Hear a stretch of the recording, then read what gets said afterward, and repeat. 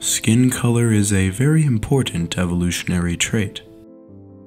As I'm sure many of you know, skin evolves different pigments to either block out excess solar radiation or to let it in to synthesize vitamin D. Since solar radiation, also known as sunlight, is most concentrated at the equator, populations living here have developed with more melanin in their skin to protect themselves. However, towards the poles, solar radiation drastically decreases. With such mild solar radiation, the body not only doesn't need melanin to protect itself, it also cannot synthesize vitamin D as easily. This is why populations that receive little solar radiation develop light skin. It is also why people with light skin get sunburned easily and can even develop cancer. People with dark skin living in areas of low solar radiation often have low levels of vitamin D. This is why many African Americans are at a greater risk for a vitamin D deficiency. It is pretty amazing when you look at a map of solar radiation across the world and skin color. They are nearly identical. Skin color is determined between two types of melanin, eumelanin and pheomelanin. Eumelanin is a dark brown and black pigment. Pheomelanin is yellow and red in color. More melanin, typically more eumelanin, is effective at blocking out sunlight, while low levels of both are effective at synthesizing vitamin D. Everyone has both of these pigments. Skin color is determined by the proportion of how much of these two pigments they have. These pigments create the various skin tones we see in modern humans. The topic of today's video is specifically about white skin and when it appeared in human evolution. Our species, Homo sapiens, first evolved in the Horn of Africa 200 to 300,000 years ago. Since we spent much of our evolution in East Africa, our species always had dark skin. It wouldn't be until after we began to leave Africa that we would begin to develop lighter skin. There is some evidence of extremely early ventures into Europe and Asia over 100,000 years ago, but these waves seem to have mostly died out by about 80,000 years ago. The earliest successful migrations of our species out of Africa conquered much of southern Asia and even made it to Australia as early as 60,000 years ago. These populations and others across southern Asia still retain dark skins such as the Andaman Islanders waves of humans would continue to move about until we finally ventured into Europe. The first sapiens to truly move into Europe only did so as late as 45,000 years ago. These are the so-called Cro-Magnon humans. But the term Cro-Magnon is not really used in anthropology anymore. It was the name given to five anatomically modern human remains discovered in the 1860s. Originally, they were thought to be different enough from us to be considered a subgroup of some kind. However, a century and a half of research has found that they are not sufficiently different from us to deserve a separate designation.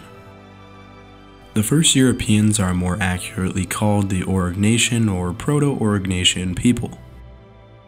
This is in reference to their tool-making tradition that would last from 43,000 to 26,000 years ago. Anyways, the point of all this is that I need to get rid of the myth that the Cro-Magnon humans were white like later Europeans. They were not. At the time of their discovery, we didn't have DNA evidence, so it was assumed that they were white, and many people still think they are. But in reality, white skin did not develop in Europe until much later. It would take some time for Europe to develop white skin. Not only is evolution quite slow, but the selection pressure may have not been present at first. Like mentioned earlier, lighter skin has less melanin to block out UV radiation and in turn synthesizes more vitamin D. This is advantageous for some, but for others such as the Inuit, they never had the selective pressure to develop truly white skin. This is because they already get enough vitamin D from their diet, so skin color is not always that simple. If a population lives in an area with less sunlight but has access to a good source of vitamin D, they may never need to develop light skin. Dark skin would just be a little more protection from sunburn in the summer. recent evidence has shown that the earliest Europeans weren't in an evolutionary race to become white. Evidence from the genomes of 83 people found in archaeological sites across Europe have shed light on the emergence of white skin. Genetic evidence from Spain proved that 7,000 years ago Europe was home to blue-eyed but dark-skinned people. And they were not just the tanner versions of the modern inhabitants in Spain. They lacked two genes that are responsible for white-skinned Europeans. But this was in southern Europe place that is subjected to some of the highest levels of solar radiation in Europe. It would make sense that these people had dark skin. Farther north, however, we do find evidence of lighter skin. 7,700 year old remains in southern Sweden show that these people did in fact have both of these white skin genes. They also had a third gene that causes blue eyes and blonde hair. This tells us that some of the genes for light skin unsurprisingly developed in the far north regions of Eurasia. But not all genes came from the north. The first agriculturalists that developed in Europe from the Near East are actually partly responsible for the whitening of Europe. The switch to agriculture may have actually been a dominant force in the evolution of lighter skin.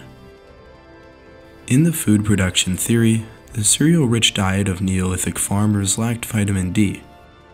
This in turn would create an evolutionary pressure to develop lighter skin to synthesize vitamin D from the sun. Agriculture originated in the Fertile Crescent around 12,000 years ago, but it would take about 5,000 years to spread throughout Europe.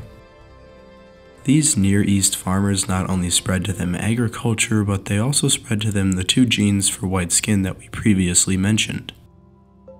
So from about 7 to 8,000 years ago onward, Europe became increasingly agricultural.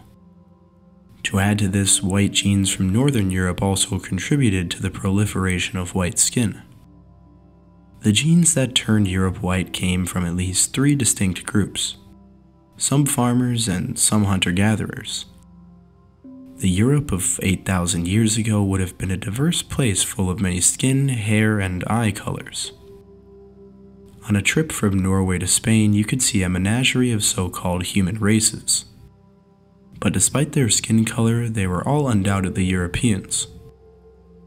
I think it is very important for people to understand this because it really puts into perspective our ideas about race. I find it funny to think in an evolutionary blink of an eye, all Nazis had black ancestors. I'm sure they wouldn't enjoy learning about that. Anyways, I hope you enjoyed this little lesson about skin color and the early times in Europe.